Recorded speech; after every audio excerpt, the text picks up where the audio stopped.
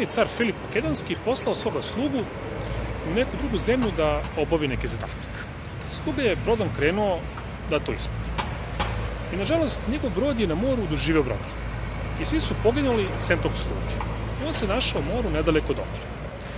Neki ribar je to video, sve je u svoj čamac, došao do njega, izadio ga iz mora i odvao svoje kući. Posle toga je taj slug otišao kod e, cara i rekao mu sve šta se desilo. I caru je bilo žao tog događaja i on je pitao tog slugu šta želiš da ti učini. A taj sluga mu je rekao da mu da imanje baš tog ribara kojega je spasao. I kada ušao, ušao njegovu kuću, uzio njegovo imanje, taj ribar požalošćen je otišao kod cara i ispričao mu sve šta se desilo.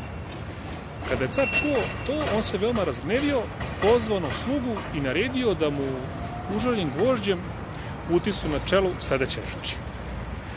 Nie niezachwalni gost.